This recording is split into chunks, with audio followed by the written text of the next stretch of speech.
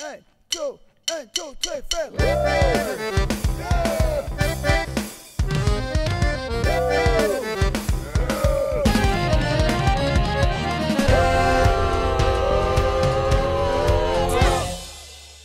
Da er det episode to. Ja. Og du spiser. Jeg ble litt sulten. Ja, Så nå Også... skal du ha sånn smattelyder? Nei, jeg- ASMR. Nei. Nei? Men uh, jeg bare ser at du har akkurat samme klærne på deg i dag som du hadde forrige uke. Ja, Men det syns jeg er kult som en influenser. Ok. Fordi at eh, influensere flest får jo for mye kritikk for at de driver med et overforbruk. Det gjør ikke jeg. Nei. Jeg kan fint gå i de samme klærne uh, gang på gang. Du har bare hevet på deg en ekstra hettegenser. Og du har faktisk samme salat som sist Nei, vet episode. du hva, den, Jeg trodde at den skulle holde, men den hadde jo utvikla språk når jeg prøvde å åpne den. Så jeg måtte ut og kjøpe meg en ny salat. Ny cæsarsalat. Ny Cæsarsalat. Ja, men det valgte Den du. var veldig god. Ja. Det, vet du hva jeg har lyst til å gjøre nå? Ta snikreklame, holdt jeg på å si, til de som du har kjøpt den hos. Men før vi gjør det, vi skal ikke si noen ord om Den ekte ukens reklamen. episodesponsoren vår, Jo, vi gjør det. For som er Nordic, Nordic Protection. Protection! Det er altså vernebriller som har styrke, ja, Ja. Som er veldig lurt. Altså Hvis du har dårlig syn og trenger briller, utrolig lurt å kjøpe vernebriller Ja, med Du trenger ikke ha dårlig syn. Altså, du, altså, jeg bruker jo lesebriller, for eksempel. Jeg har ikke dårlig syn. Jo. Eh, nei, Hvis du har trenger noe hjelp. Jeg har noe Vær så snill og bare hold kjeft. Dette er feil. Hvis du Cæsarsalat med rab, det var ikke deilig.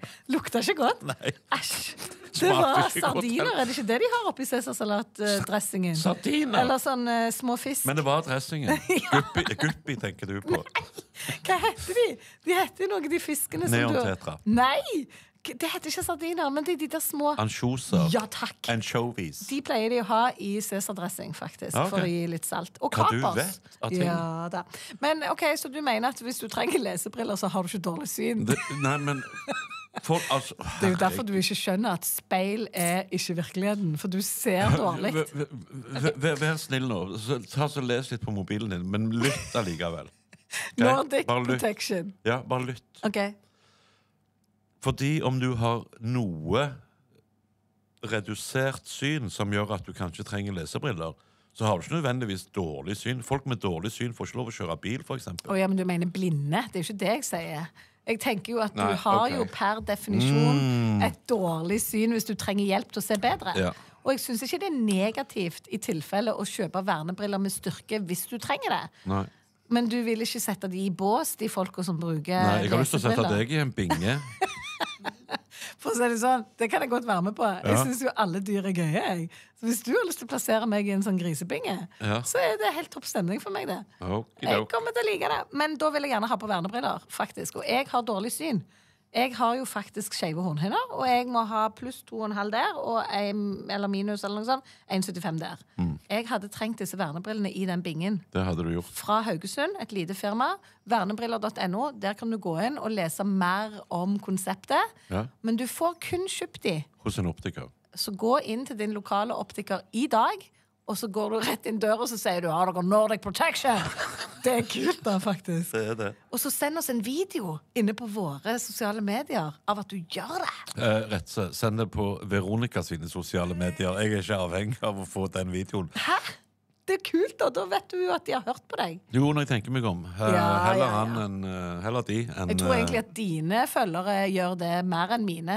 Jeg føler, Nå er jeg veldig sånn, nå setter jeg folk i bås, men jeg føler at det er mannfolk mest som, Som trenger vernebriller med styrke fra Nordic Protection. Og som følger deg, ja. Eller har du flest damer? Jeg er faktisk ikke sikker. Jeg tror det er ganske 50-50. Er det sant? Dette kunne vi funnet ut, faktisk. mm. Ja, Vi trenger ikke gjøre det akkurat nå. La oss heller bare takke så mye for at eh, Nordic Protection i Haugesund, som lager vernebriller med styrke, faktisk orker å sponse oss. Enig. Det,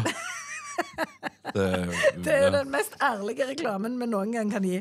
Du, eh, siden vi nå var inne på det, vet du at jeg har 92,9% kvinner som følger meg. Og så da 7,1 menn. menn. Er du overraska over det tallet? 7,1% menn? Nei, for jeg har jo mange tusen følgere, så det er jo 7,1% menn av 65 000. Det er jo ganske mange folk. Og det altså, det er ganske likt sånn som jeg ser på showene mine, egentlig. I forhold til mann-dame-bevegelsen, holdt jeg på å si. Men OK, du spiser salat, så da kan jo jeg faktisk snakke. Ja, for eh, Som om det har hindra deg å snakke når jeg ikke har spist salat noen gang. Nei, jeg eh, snakker litt mye. Men eh, jeg tenker at det er en gave når du driver med podkast, at du faktisk snakker. Hadde vært en ufattelig kjedelig podkastpartner for deg hvis jeg bare var helt tause, Birgitte. Eller? Nei. Det har vært eh, litt deilig. Litt sånn som det er når du er på jobb på scenen. Ja, For Nå er du- det jeg som snakker. Ja, for du liker publikum holde kjeft. Jeg liker at de holder kjeft. Jeg var jo i Arendal jeg, og hadde show. Og der var det folk, helt rå folk som hadde vært både fem og tre ganger på samme show. Så de kunne jo poengene mine. Og det var ikke sånn at de ikke hadde fått med seg noe de første gangene de var Aner der. ikke hvorfor de har vært der så mange ganger. Jeg er sikkert så rå, da. Men eh, de har jo da altså eh, gaven med klisterhukommelse, så de ga jo mitt publikum mine poeng før jeg hadde kommet til de på scenen. Det var vanskelig rent faglig. har du opplevd det før? Nei. Nei. Men du har jo en mening om folk som jeg eh, tenkte vi kunne snakke om litt i denne poden. For folk flest er jo ganske dumme. Det er de.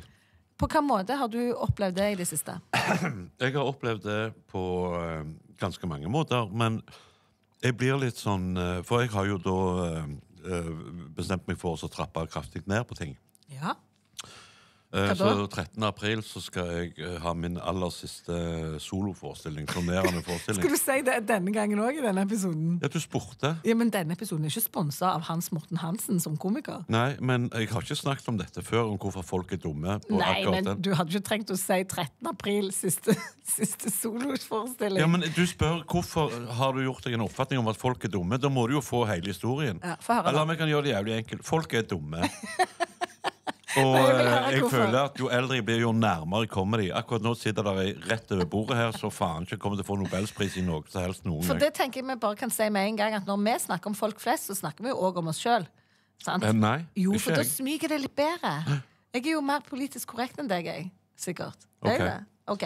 Men når, når det da står et eller annet sted at uh, dette produktet kan du få kjøpt der og der og der. Nei, jeg gidder faen ikke si det. Jo, Nei, du fortjener det. Du er Jeg gidder ikke. Si det. Nei, jeg gidder Du hadde lagd et innlegg på Facebook, Ja. og der sto det at ditt siste soloshow Dette er siste forestilling 13. ever. april. Så er det da folk som da kommenterer med åh, jeg er ikke i Stavanger den dagen vi kan komme neste gang. Så jeg, hva er det du ikke har skjønt? Nei, for da er posten at dette er det siste Ja, ever. ja.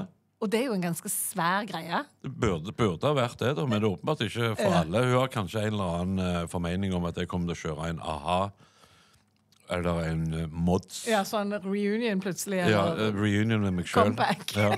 Nei, men at det blir liksom Det det er ikke siste gang. Jeg kommer jo tilbake igjen en gang. Ja. Liksom. Ja, men det har jeg ingen planer om. Nei, for du skal rett og slett gjøre det. Jeg skal gjøre det, ja. Ja. Og, det og eh, et annet tilfelle var jo da, som jeg prøvde å si før jeg ble avbrutt for første gang i verdenshistorien, denne podkasten i hvert fall. I dag syns jeg du er litt eh, sur. Hvis jeg bare Ja, er det rart deg. jeg er sur? Men du burde virkelig Du har fått mat. Jeg trodde det skulle bli bedre. Og så bare blir det verre. Er det sånn du reagerer på cæsarsalat? Det, nei, Cæsarsalaten har ingenting med dette å gjøre. Det er andre ting jeg reagerer på. Ja, for du er sur for du snakker om de dumme folka. Nei, ja, åh. Ikke nødvendigvis for at meg og deg er her. Nei, det er jo kanskje et av de lykkeligste øyeblikkene hver uke. Jeg ser sånn fram til det.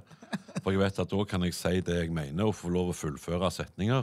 Noe jeg ikke er vant med i det hele tatt ellers i livet. Point taken. Ja. Men Så, så hold kjeft litt, da. Jeg lurer på hvordan det er å lytte til dette, egentlig. Jeg, jeg, det driter jeg i. Du vet at jeg får sånn vondt i kjeven for jeg smiler så mye. Ja. Men. Men ok, Så da blir du irritert når folk liksom ikke skjønner budskapet i Yes. Og, innlegget? og når du da liksom har et produkt som du markedsfører i, og, som er merka med reklame, bare for å ha sagt det At det dette god. kan du kjøpe der og der og der, og det står òg i teksten, og det er en link og alt mulig, og så klarer noen å skrive 'Hvor får jeg kjøpt det hen', da? Da blir du irritert. Men hvordan reagerer du sånn rent offentlig på det? Skriver du noe til dem i kommentarfeltet, eller Eh, akkurat på den siste der så skrev jeg eh, 'Les teksten og hør hva jeg sier'. ja. Og Ja. hvordan reagerer da den personen som er litt bakpå? Eh, det aner jeg ikke, for det ble stille derifra. Ja, nettopp. Ja. Så det er jo eh, irriterende det der at når du jobber Altså, jeg driver jo med foredrag om kommunikasjon. Eh, jeg skjønner dette greiene her, Ja. men jeg mener jo alltid at det er den som kommuniserer, egentlig, som sitter på ansvaret. Så vi må tåle at ikke alle oppfatter det vi prøver å få fram. Og så må vi bare heve oss over det og la være å bli provosert. Og nå ser jeg at jeg snakker til en stein. Nå er du så forbanna, du, Eh, ja. på dette som jeg sier her. For du vil bare være Jeg må ha mer høner. du er... Det er kylling. De har slutta å produsere høner sånn, på den måten. Ok? Ja, og det er jeg faktisk imot, hvis vi skal spore av igjen. For jeg ville kjøpt høner, men det går ikke an lenger. Og i et uh, samfunn Får du ikke kjøpt høner lenger? Nei! Hæ? Da må du sikkert på frysedisken eh, på Helgø. det er helt sant! Jeg Før fikk du jo kjøpt høner over hele byen. Ja, du Det var var jo høner på alle Du hjørner. var med den der slappe bananen din inne på den der nattklubben. Og så var det ei høne med deg. Men sånn er det ikke lenger. Nei. Sier du det det? er bare kylling som det går an å få kjøpt nå. Og som regel er kyllingen eh, en sånn hurtigvoksende art Ja. som ikke er bra Som for ser, som ser eldre ut enn han er. Ja. Eh, smaker jo iallfall eldre ut enn hva den er, da. Okay. Eh, og det er ikke bra for selve kyllingen, fordi at eh, den vokser så fort at beina knekker under på den, f.eks. Det er helt jævlig. Jeg synes det verste Altså, jeg er kjøtteter og hele pakken, men jeg syns det er forferdelig vanskelig å orientere seg i høne-kylling-universet. For det er så mye som kan gå galt. Det er så mye som kunne vært sagt nå. Jeg prøver å holde dette til matfatet, jeg. Ja, ja. Ja, så, Men- ja det var det jeg mente. Ja, nettopp. Eh, For nå merker jeg at eh, ofte så er det gjerne jeg som blir den som på en måte tenker hvorfor. Ja. Men Jeg, jeg jo ser at jeg, det er ikke det nå. Nå er det du. Nei, men det, det jeg syns er rart, er at uh, sånn som kyr, kuer, Ja. de skifter jo kjønn når de blir slakta. For da, Gjør de det? da blir det jo okser. Du tror du kjøper okse indrefilet, så er det ofte ku òg. Ja, men de skifter jo ikke kjønn sånn i forskning.no. Det, var det var en metafor. Og det Nettopp. der forskning.no kan du rulle sammen og stappe så langt University of Chicago. Ja, kan du stappe så langt opp i Ja, for det løyde det at du bare vil. forbruker, forbrukeren blir lurt da til å tro at de kjøper okse, Rundlurt. og så er det ei melkeku. Ja, det er i hvert fall ei ku. Ja, men det er som regel melka kua di. Altså, Ei ku har jo per def jur, og der er det melk. Ja. Så det er ei melkeku. Okay. Ellers er det kalv. Sant? Hvis at de ikke har fått melk i, i jura. det er gøy. Du må, du må kutte ut den gin tonicen du sitter med, du. Det går jo rett i Nå fletta på kjenner jeg deg. at jeg koser meg skikkelig. Jeg har ingen samtaler med noen andre enn deg som er sånn som dette. Nei, bra. Ja, jeg tror det holder Ja, for du liker at vi har det sammen. Du, du sier bra nå, for du ønsker at det er bare meg og deg som skal ha det. sant? Jeg hørte et veldig godt kompliment en gang. Gjorde du? En fyr som Det var ikke sa fra meg. Nei, nei, det Ja, ja, jeg syns å huske i episode én at du kom med et lite sånn Det var for å prøve å få en litt hyggelig start. Ja, det har du bare dreid i nå. Ja. Men jeg hørte et veldig koselig kompliment fra en lytter en gang. Eh, han sa det at eh, å høre på vår podkast var som å fø du, Han følte at han satt og overhørte sin samtale. Ja, Da har vi klart det. Da har vi klart det. Jeg må bare si det, faktisk. Fordi at det er en gave. At vi er så i oss sjøl at vi glemmer litt tid og sted, og så er det bare folk som lytter til det. Skjønner du? Ja. Men nå når du gir deg, sant? Eh, aller siste soloshow 13. april i Stavanger konserthus Aller siste turnéforestilling. Ja, for det er litt uh, andre La oss, la oss bare ha den lille føleren ute der. Men det Ok. aller siste turnéforestilling. Hva som er framtida da? Andre typer forestillinger som ikke er på turné? Mm? Ja, du tygger. Du kan Bare snakk mens jeg tygger. Ja, sant, ok Ja, Så nå skal jeg snakke? Så når det er beleilig for deg, så får jeg lov. Tusen takk. Du er en litt sånn puppetmaster. Mhm, Og det er mange som hadde blitt litt provosert av det. At du på en måte styrte meg. Sånn, nå har du snakket. Ja. OK, da kan du. Turnéforestilling, hva er forskjell på det? Jeg, skjønner, tror, ikke, jeg tror folk, folk flest er dumme, sånn at de skjønner ikke det. Nei. Uh, vet folk flest hva en turné er? Ja, da reiser du. Dette er den sjette turneen jeg er på med en egen forestilling. Å ja, sjette? Sjette, ja. På hvor mange år som komiker? Ja, Det er den f- sjette siden 2009, på 15 år. Ja, hvor ofte, hvor lenge er du på turné Nei, med er én? ikke du ganske god i hoderegning? Nei. nei, nei, nei, nei, nei. Eh, I september nå så var det to år siden denne forestillingen hadde premiere. OK. Så det er, jeg lever én forestilling ca. to år, da? Eller, Ja, noe på sånt. Ja. Ja, det kan jeg kjenne meg igjen i, faktisk. Ja. Eh, så eh, det skal jeg slutte med. Jeg skal slutte å turnere med egne forestillinger. Jeg Ja. sier ikke at jeg ikke kommer til å stå på en scene igjen, for det kommer jeg ja, til å gjøre. må. Det, ja, det må jeg. Ja, ja, ja, ja. Kanskje gi meg. Nei, men det er jo en sånn dop. Det er dop, det der greiene med å stå på en scene. Ja, Og du elsker det. OK. Ja, det gjør du. Ja, Og folk elsker det. Ja, men ellers hadde jeg ikke gjort det. Nei. Jeg ikke det var kjekt. 100% Men jeg skal gi meg med det. Ja. Og så det er skal jeg uh, gå all in som uh, influenser. Og podkast Uh, på, på Kongen av podcast. Yes, kongen av. Skal jeg få lov å fortsette å være en del av din fremtid? Du skal ikke starte podkast med noen andre? Du har ikke sånne planer? Det er faktisk viktig at vi tar en prat om dette. Ja, La oss ta en prat om dette. Ja, eh, For dette her er sesong to, mm -hmm. og vi kommer til å fullføre den. Alle disse episodene kommer ut før eh, påske. Og så ja? Ja, det tror jeg. Jeg er usikker. Ja, jeg tror kanskje Ja, det finner vi ut av. Hver fredag, iallfall. I uoverskuelig framtid. Eh, Jeg vil si det er ganske overskuelig framtid, for vi skal lage åtte episoder. Ja, ja, vi skal det. Altså det. det er åtte uker framover, da. Ja, faktisk. Gratulerer. Takk. Ja. Så, eh, og så eh, tror jeg at eh, hvis alt går etter planen, så fortsetter vi med sesong tre òg. Dette har du tenkt at vi skal fortsette med, sant? Jeg har tenkt det, ja. For min motivasjon for å gjøre dette er jo at vi skal snakke om influenserbransjen. Ja. Så nå skal vi gjøre det. Ok? Ok, For jeg har jo spurt mine følgere. Du husker jo det, jeg har mest damer. Ja. Og de er flinke på å være med. Alle eh, skulle ønske seg damer som både følgere og publikum. De er best. Syns jeg. De er bedre på Sa feedback. ei dame. Sa ei dame, ja. Eh, for eksempel, da. Eh, dette med at folk driver med å filme frokosten sin. Er det noen som har lyst at vi skal snakke om? Det Men la meg da begynne den eh, med spørsmål. Gjør folk det? Å ja, for du ser ikke på det Nei. når folk gjør det? Nei, ja, de, i, og gjerne i sånn kjapp video. Her skriver Gunhild til meg Jeg synes dere kan mene noe om influensere som hver dag, med store bokstaver, viser hvordan de lager frokost, og det er samme frokost hver dag, by the way. Samtidig som de snakker om egentlig ingenting. Det er det som er trenden. Du setter på kamera, og så bare står du der og smører på noe.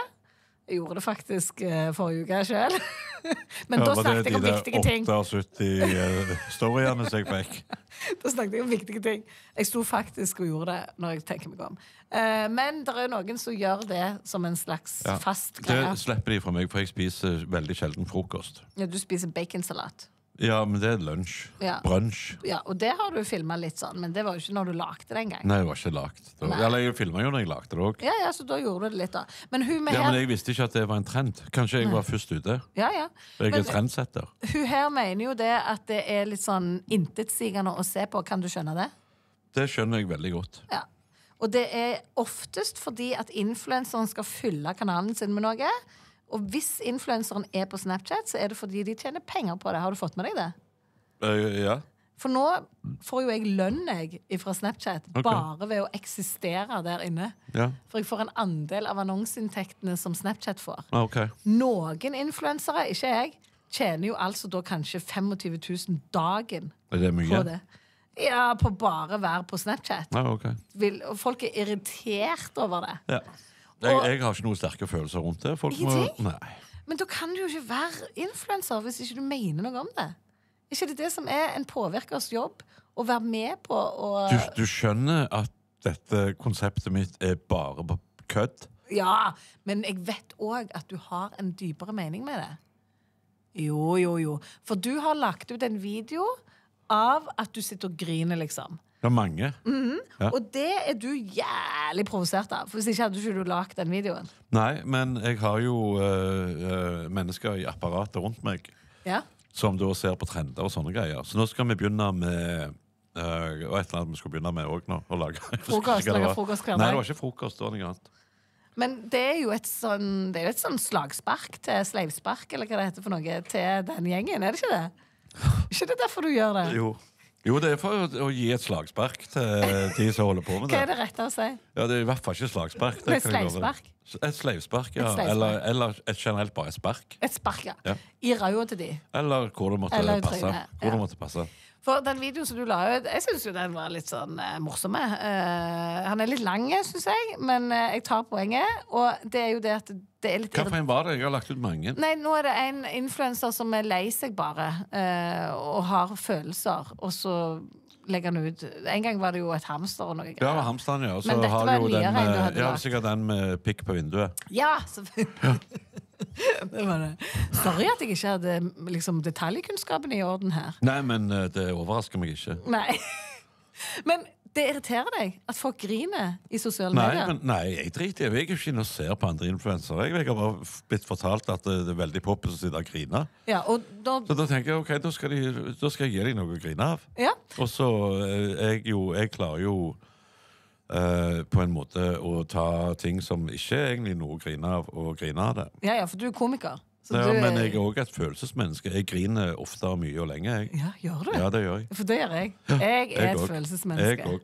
Jeg elsker å være i kontakt med alt. Det om det er jeg. hat, eller om det er kjærlighet eller sorg. Og så blir jeg ferdig med det. Altså liksom, Jeg er sur og ferdig. Ja. Og så er jeg glad, og så ferdig. Og jeg- Kjærlighet. Ja, ja. Og så hvis jeg Ja, ja, derfor jeg gifta meg på et blunk. sant? Det var jo inn inn ut, pop, ferdig. Ja, blunk og blunk. Dere har vært sammen i 19 år. Jo, men gifta oss tok jo et blunk. Det tok jo faktisk et blunk. Ja, Det er mye i et parforhold som tar bare et blunk. Ja, ja, ja, ja, ja. Det vet sikkert du noe om. Jeg vet mye om det. Men alle sånne følelser de liker jeg å bare bli ferdig med. Ja. Så jeg, Ja, uff, jeg kan ikke komme til å bære opp følelser for lenge, for da, da eh, mister de noe av dybden og realiteten. jeg må være i kontakt med følelsene dine, men det Jeg, der er- jeg vet hva, der er, jeg tror det er få menn som har lytta så mye til sin indre tamburin som jeg har. Oh, ja, er Ja, jeg er veldig i kontakt med mine følelser. Ja, er du ironisk, eller? er Nei. Ja, nei, Ser jeg ironisk ut? ja, du gjør det. Du Ja, har et sånn ironisk tryne, så det er derfor jeg spør. Okay. Ja, men- Nei, men jeg er veldig i kontakt med mine følelser. Jeg har uh, veldig ofte så har jeg en slags sånn Eller faktisk hver eneste kveld så har jeg en liten oppsummering for meg sjøl. Ja. Med hvordan har denne dagen vært. Uh, har han vært bra? Har han vært dårlig? Og jeg ber jo aftenbønn fremdeles i voksen alder. Har gjort det hele livet. Og hvis det er ting der som er feil, så ber jeg om at det må bli retta på. Hva, hvordan er aftenbønnen? Det er mellom meg og han som styrer butikken. Ja. En aftenbønn Jeg tror jeg aldri har gjort det, men er det den som heter sånn 'Kjære Gud, jeg har det godt. Takk for alt som jeg har fått'? Den sang. Den husker jeg fra barndommen. Noen sang til meg Ja. på natten. Nei, Kjære- men altså ja. Kjære Gud, jeg har det godt. Er det den? Eller hvordan er det? Jeg, jeg syng Bare ta det til deg, det jeg sier. Jeg, du jeg ber aftenbønn. Du er jøde? Jeg er katolikk Ja. Og med 0,9% jødeblod. Ja, sånn var det. Finn Og én feil. mange. Ja, nei, men vet du hva, der er folk Hvis du ser på den der eh, 90 Days uh, Fiancé, Nei, det ser, ser du på det? ja, og der er det faktisk en jødisk katolikk. Du ser på det? Ja, jeg elsker det. Syns det er kjempebra. Jeg har aldri sett på det. Og ser på det hele veien. Ja, For jeg har sett Jeg, jeg bare nyter det, og så tenker jeg når jeg ser på de, at jeg har det faktisk ikke så verst. Men om dette ligner på det som heter Gift ved første blikk? Nei. Nei, men det er samme konseptet, nesten. Ja, alt det der er jo samme konsept, egentlig. Det er en haug med, med lett tilbakestående mennesker som får lov å utfolde seg på TV. Åh, det høres deilig ut. Det er så bra. Det er så bra, og jeg- Du får et sånn innblikk og dypdykk inn i andre menneskers uh, feil og mangler. Emosjonelle Emosjonelle bølgedaler. Nettopp. Ja. Så de liker du i. Men jeg, da, Ja. ser jo på Love Island. Det er min greie. Mhm. Og det må jeg bare få med meg, selv om jeg er 42 og da, hva da 25 år eldre enn de som jeg ser på. Og det er bås fra ende til annen. Ja. Men fy fader, så digg det er. Ja, men jeg savner litt sånn som Naked Attraction. savner jeg, for Det syns jeg var veldig Det bra. syns jeg var kjedelig. Ja, var det det? Å, det var så kjedelig. Men det var jo mye rart. Jo, men uh, hvis du så den norske versjonen først Du burde bare ha sett den britiske. Mm. Ja. For det, den norske var jo bare flaut. Det var jo så kjedelig. Ja, det var kanskje det. Men uh, den britiske har jo skikkelig Ja. variasjoner. Og så ser jeg den der Love Actually hver jul. Nei, Det har jeg aldri sett. Har du ikke Det sett Love. Actually? Nei, vi snakket om det eh, faktisk i, Har du ikke sett. Hjelp, vi drar på juleferie heller? Nei! Jeg har sett Home? Alone, og så så jeg for første gang Die Hard i eh, romjulen. Den første av de? Ja, Den aller, aller første? ja, for det er folk som mener at det er en julefilm. Det er en julefilm, ja. Ja. Den handler om jul. Nei, jeg har sett Mary Poppins. Hæ? Mary Poppins er liksom en Hva sånn for, hva for en versjon da? Den den nye? nye, Nei, den har jeg faktisk sett, men den likte jeg ikke så godt. Nei. Må se den ekte. Må se den ekte. Med Julie Andrews. Just a spoonful of sugar makes the melody go down. Eller noe sånt greier. Mm. For mye sukker er ikke bra for deg, med andre ord. Nei. Ok, Så nå vet vi hva vi ser på TV. Men dette her med influensere som bare lager innhold for å tjene penger Ja. Eh, det, handler, Veldig imot det. det er jo en debatt, dette her nå. Ja, det er kanskje det. Hvor mye dette kommer til å endre måten vi bruker sosiale medier på. Ja. Er du imot det?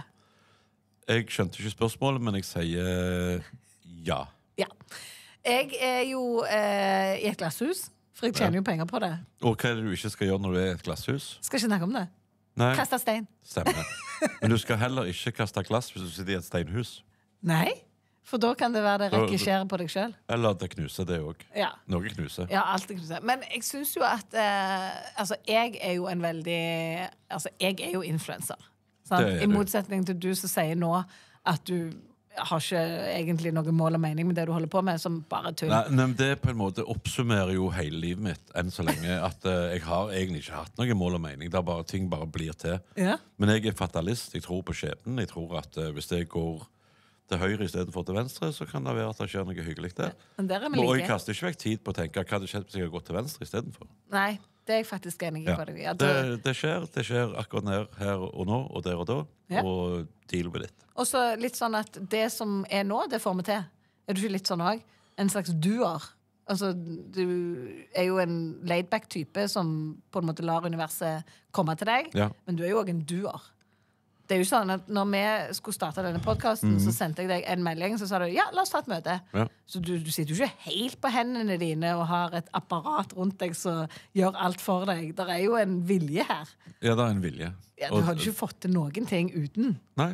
Det må du jo gi deg sjøl kred for. Ja, jeg, men jeg tenker, ikke, jeg tenker ikke nødvendigvis sånn. Jeg bare, jeg, jeg, og det er sånn greie uh, som har da fulgt meg hele livet. Med folk spør liksom, ja, hva skal du gjøre neste år. Og sånn, og sier, nei, dukker vel opp et eller annet. Ja, ja. Så gjør de jo alltid det. Ja. Ja. Og Hvor lenge har det fungert for deg? De siste 30 åra, i hvert fall. Ja. Det er helt rått. Det, ja, men uh, hvis du, hvis du det, Vi vi har jo snakket om det før. Hvis du legger ambisjonslista di Unnskyld. Lavt nok. nå raper du. Ja, det var et eller annet. Ja, men det, takk for at du holder det inne. Den der Cæsar-ånden, den, eh, den hører bare til i Romerriket. Ja. Skjønte ikke helt den. parallellen, men var du tenkte- faktisk, Ja, det var det. Men i hvert fall. uh, Det var lavmål. ja, sånn men- skal ikke vi holde på. Nei, nå har vi etablert det. Ja. Uh, det som er greia, hvis du, hvis du uh, legger ambisjonslista på et realistisk plan mm. Men ja, Så lenge du har til salt i såret og sukker i suffleen, så går det meste greit. Uh, og så vil det jo alltid dukke opp et eller annet greier. Sant? Og så, så gjør det jo det. Eh, og når jeg sier det dukker opp et eller annet greier, så er det ting som du ikke hadde kanskje tenkt skulle dukke opp. Og så blir det bare en positiv overraskelse, så tar du det med deg. Og så tenker du at Men det er en grunn til at de har spurt meg. Vet du hva er, som slår meg nå når jeg eh, ser på deg og hører på deg? Nei. At nå er du faktisk en influenser. Ok? Eh, For sånn som dette snakker egentlig mange influensere nå. De logger jo på og skal på en måte dele av det som har fungert for de i sitt liv, Ja. og lære til sine følgere. da. Ja. En slags coach, om du vil. Så dette gjorde jeg uten å egentlig vite om det. Ja, ja, ja. Du ja, kunne tjent penger på det, faktisk. Da skal jeg begynne med det. Ja. og det er jo òg altså, Snakk om frokost hver dag og lage det på eh, sosiale medier. Men en annen trend er jo at veldig mange av de som slår seg opp og lever nå av sosiale medier, de starter som en slags coach, da, en mentor, og har kurs. Ja, og... Men jeg har, jeg har faktisk tenkt å gå litt andre veien. At nå begynner jeg som uh, influenser, og så ender jeg opp som coach. Ja.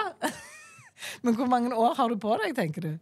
For du har sånn veldig Hvor, hvor mye skal du bruke tid på dette før du Og jeg vil gjerne seg? vite hvorfor du spør. Nei, jeg bare vet at du har mange år bak deg. Det har jeg, men jeg har òg mange år foran meg. håper jeg. 100 Ja. Det håper jeg Det er mange mil igjen i denne motoren. Ja, ja, ja, ja. Og hvis ikke du klarer å gå de, så skal jeg gå de med deg. Er det ikke sånn vi er helt sier? Bjørn Eidsvåg der plutselig. Men det er fint, Men det. du snakket sånn veldig fint og nedpå nå om hvordan tilfeldighetene kan være bra for deg hvis du bare lar deg flyte. Ja, ja men, men vet du hva? Det, det er det som er greia. For det, eh, det har jeg opplevd veldig veldig mange ganger i Kall det komikerbransjen, da, som jo er, er hvor jeg kommer fra. Mhm. Med unge, flotte, flinke, dyktige komikere som Sånn som meg? eh, sånn- ja, jeg vet ikke om du hørte hva jeg sa. Unge, dyktige, flinke komikere, sa jeg. Og så Sånn som meg. Skal jeg gjenta det en gang til? Jeg fisker etter komplimenter. Ja, ja, det får du ikke. Men du er min mentor nå, vet du. Ja, ja, du men er det, du får ikke det. Men, Satan, jeg har lyst til å kjøpe kurs av deg. ja. Men dette det, du, det, det, du, du Ja.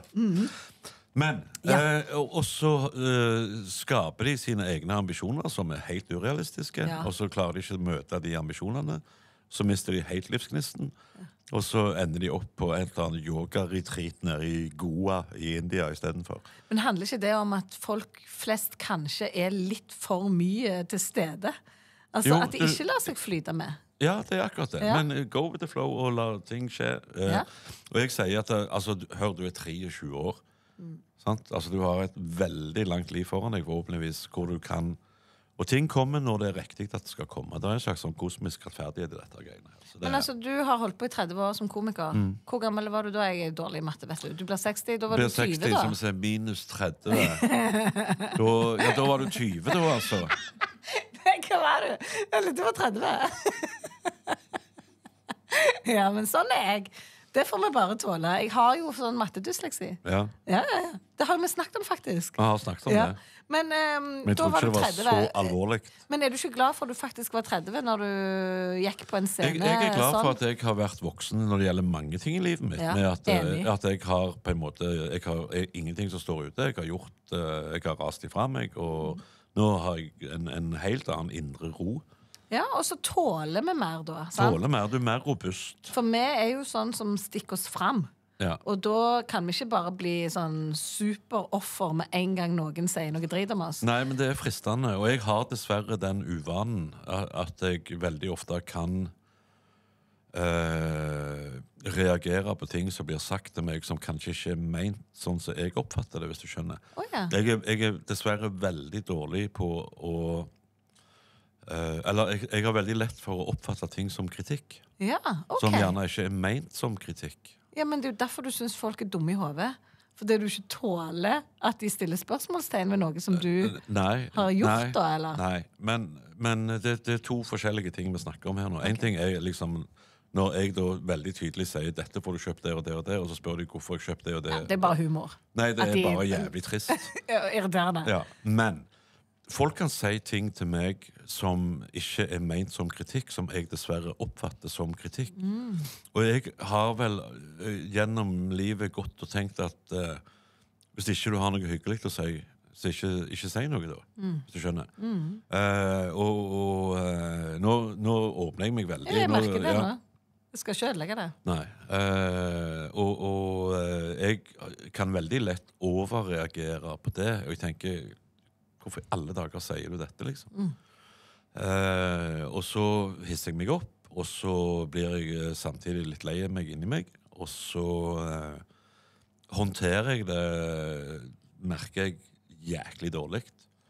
Og så må jeg jobbe med det. Med at eh, ok, det var, jeg har gjerne misforstått eller jeg har ikke skjønt ting riktig. Og eh, noe er blitt sagt som ikke var meint sånn som det ble oppfatta av meg, osv. Så, videre. eh, så jeg må lære meg sjøl å bli hva skal du si, mer eh, På en måte ydmyk i forhold til det. da. Ja, eller, eller ikke hardhuda heller, liksom. Nei, jeg vil ikke bli hardhuda, ser du. Eh, men men eh, eh, Men har det ødelagt for deg på et vis? Altså, har det eh, satt noen kjepper i hjula for deg?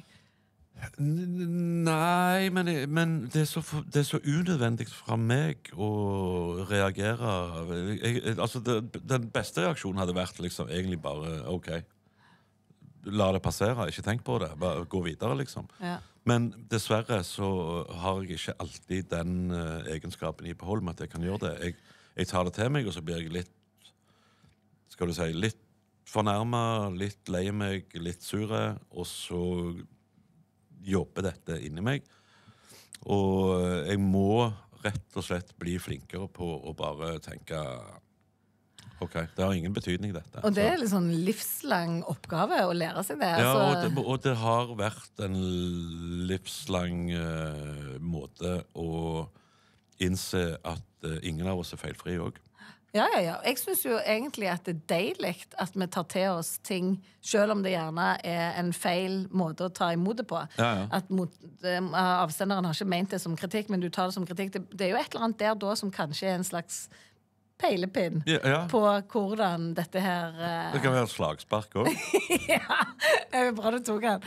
Men uh, jeg kjenner til følelsen av den der at du får vondt i magen, at noen har misforstått deg, eller noe sånt. Ja, men det, Eh. det, det, er ikke, det, er ikke folk som har misforstått meg, det er jeg som har misforstått andre folk. Ja, ja, ja. Så jeg er, jeg er helt elendig på det. ja. Har det vært en sånn greie med oss noen gang, egentlig? Med deg? Ja. Har du følt noe sånt her? Jeg føler ingenting i forhold til deg. Nei. Og du kan si akkurat hva du vil til meg. Jeg bryr meg ikke. Det, er det er jo deilig for deg, da. Ja, herlig. Så Ja. dette er sånn safe zone for deg. Dette, ja, jeg vet ikke, det er jo litt touch and go noen ganger. Og men, jeg, eh, vet, du, jeg er jo en, kanskje en litt annerledes type, da, fordi at jeg tar alt som eh, positivt Ja. før det er så tydelig negativt. ja, men Kanskje jeg er tror- naiv, tror- liksom? Nei, nå skal jeg, nå, jeg har analysert deg litt. Sånn lynanalyse her nå. Med at Altså episode to i sesong to, så har Nei, du men- analysert yes, meg. Å, Men du tar ting positivt på grunn av at du aldri lar folk fullføre en setning. Så det første de sier, kan være positivt, og så er du, da er du ferdig med den. Og så kan det negative komme etterpå. Og det får, det det får ikke du med deg. Nå, Forsvarsmekanisme. nå gjorde du det igjen. Ja, ja, ja, ja, for nå blir jeg gira. Ja. Det er når jeg blir gira at jeg har lyst til å gire på. Men du er jo gira hele tida. Vær så snill. Men jeg har det så godt. Det er jo derfor. Ja, men Merker du hvor hyggelig det er at vi nå kan vi sitte og ha en samtale? her? Dette er i alle fall en uh, Dette var gøy, da. Ja. Fordi at uh, nå når du åpna deg, Ja. så var ikke jeg gira. Da merket du at jeg lot deg snakke, sant? Ja, og det var, det var faktisk ganske fint å kjenne på. Det tror jeg lytterne òg Ja. tenker. Men det er jo, da blir jeg litt som programleder, merker jeg. Altså, Ja. Jeg har jobbet som journalist i 14 år. Det er da du merker det. Du, Ja. ikke, du merker det ikke ellers, Eh, at du nei, er litt der? nei, for uh, jeg ble jo veldig sånn Wow, dette her skal jeg lytte til og høre. Og så blir jeg sånn oppfølgingsspørsmål. Hva skal jeg stille nå? Nei, men uh, Og der, der er det òg ei greie med jeg, jeg takler veldig dårlig når folk kommer med innvendinger på det jeg sier. Ja. For jeg, jeg kan si noe, og så er det sånn Ta det til deg. Og så, men så kommer vedkommende øh, ofte med en sånn innvending som jeg tenker er helt unødvendig. Altså, Men jeg må ha et eksempel. Nei, Sånn jeg jeg har, ikke, jeg har ikke akkurat et konkret eksempel på det, men, men jeg kan øh, si et eller annet. Uh, OK, ta et eksempel, da, med, med eh, Nei, det var et jævlig dårlig eksempel, så jeg skal ikke ta det. Men, men, men, men jeg sier Noe med lyden på podkasten, f.eks.? Nei, nei, det, det, nei ikke sånn, men, men det, det går mer i, i Hva skal du si, på meg som person, egentlig. Eller jeg kan, eh, jeg kan foreslå noe som jeg kanskje har gått og tenkt uh, lenge på. Uh, og så presenterer jeg da den til et eller annet menneske. Og så kommer det en innvending mot det. Ja. Skjønner du? Altså, hvorfor, hvorfor kan du ikke bare Ja. kjøpe det? Ja, vær så god. Men da Hvem er- må er det jo- din telefon som Nei, det er piper så sikkert jævlig? din. Er det min? Men da må jo du ha elsket dette eh, som skjedde når vi starta vårt samarbeid med podkast. Nemlig at du sa til meg Har du tid til å møte på NRK i morgen? De vil snakke om podkasten. Ja. Jeg kommer ikke med en innvending. Jeg Nei, sa du sånn venta til vi var i studio, faktisk, før du begynte å innvende. ja, så Da kan det være at du kjente litt på hva hun holder på med nå. Ja. Men jeg skrev jo til deg ja, ja, selvfølgelig, du er galen i halen. Herregud, vi har jo ikke Og så bare ble jeg med. Ja. Men OK, da Da kom innvendingene. Etterpå i studio. Etterpå, Men da var jeg jo i en rolle. Da skulle vi jo lage show, underholdning. Ja, men vær, vær deg sjøl, Veronica. Så langt det lar seg gjøre. du er God nok. Langt inni der så er det et menneske som prøver å komme ut. Ja, men du lar meg Jeg komme. trodde du skulle føde. Ja, det har jeg gjort. Ja. To ganger. Oi, er mer enn deg. ja. Men du, eh, jeg må bare si at det ble en fin andre episode, faktisk. Ja, folk kan bare glede seg til tredje, for jeg, jeg har et virkelig OK, nå skal jeg være helt 100 ærlig. Jeg eh, vet ikke hva inntrykk folk har av meg sånn på det jevne. Men eh, jeg må innse at jeg har en væremåte sånn eh, i noen sammenhenger som kanskje ikke alle helt kjøper. Jeg må, jeg må jobbe med å bli bedre på en del ting. Blant annet gjelder det sinnemestring. Det gjelder, eh, som jeg sier, å være mer tolerante overfor folk som uttrykker sin mening overfor meg. For jeg, jeg kan lett kjøre over folk, hvis du skjønner, med at noen sier noe. Jeg bare tenker faen, feil, ikke sant? Å ja, kødder du med meg? Nei. Det har ikke jeg lagt merke til. Har du ikke? Men da skal du få lov å kjenne på den følelsen litt grann til neste uke. Ja, ja, ja. Ja. Nei, men, men eh, og, og, og jeg håper og tror at jeg fremdeles har så mange år igjen at den nye versjonen av meg, når jeg får lagt bak meg eh, hva skal du si, den, den eh, turnékarrieren At jeg kan bruke ting på det, bruke tid på det, mener jeg, og, og da på et eller annet tidspunkt kunne dele mine erfaringer med andre mennesker som en coach. Altså, jeg bare sier gratulerer, Hans Morten. Du har nå sikkert fått én million nye lyttere til denne podkasten for denne sesongen her. Vil ikke folk gå glipp av. Det, det er det siste vi trenger. Én million mennesker, dumme mennesker til. Vi takker Nordic Protection for at de er ukens sponsor. Må vi huske at de har 25-årsjubileum, og det er faktisk litt Ja, en ja, ja, det. ja, de ble jo miljøfyrtårn Det eh, forrige uke. Full fyr i tårnet. Helt rått. Ønsker du å sponse denne nydelige podkasten, så ta bare kontakt med oss. Så fikser vi det. Ja. Eh, takk for denne praten. Takk i like måte. Takk for at du lyttet.